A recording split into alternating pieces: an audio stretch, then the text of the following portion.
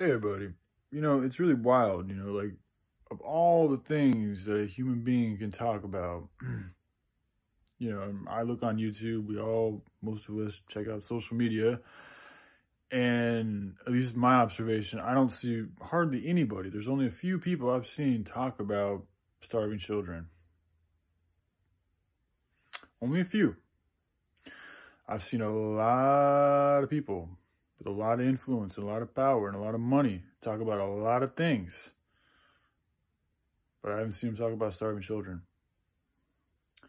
Now it's really interesting because like I'm thinking like why why don't they like I'm they don't even talk about it like uh, forget money or opening a charity or any of these other extravagant things that could be done but they won't even speak about it, like bring energy to it. Like it's it's almost like I'm like, is there something what's going on here? So I started thinking like what's going on in the mentality of these people? Like why aren't they speaking about starving children? Because I guarantee you, most of these people and anybody, if they were in that village, if they were around starving children, they would probably be consumed with nothing but trying to help feed these children. But because we're not physically in the same location as them, so basically, because we're not seeing them and we're not feeling what they're feeling, we're not right there in it, we don't care as much about it.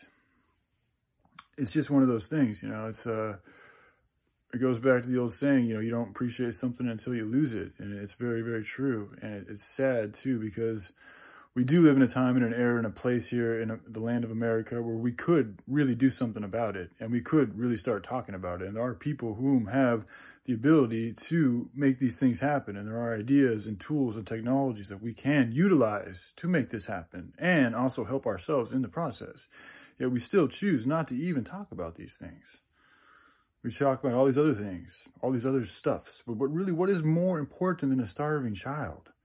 What is more important? This is a huge thing because it tells God that you guys don't really care about the least among him. It also says that you guys don't really have faith in believing that you can do something about it or that you don't care to do something about it. So just, I don't know what else to say, y'all. It, it trips me out that I'm around a bunch of human beings who just decided to talk about a bunch of silly shit all day. I mean, that's what it feels to me. I'm not trying to offend anybody, but when you come from my perspective and you see what's going on in the world, and then you see everybody else talking about all these things that are really very inconsequential, it can appear that way because from a certain angle, it is that way. All right, I love you guys. Y'all take care. Bye.